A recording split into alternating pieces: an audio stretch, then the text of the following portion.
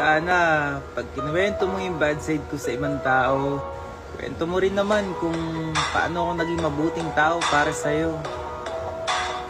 Alam nyo, pagod na pagod na ako. Sobrang sakit ng mundong ipinamulit niyo sa akin. Alam niyo, sa sobrang sakit ha? Sa sobrang sakit, ine-enjoy ko na lang. Anong sabi mo? Ikaw yung sinayang ko? Bakit?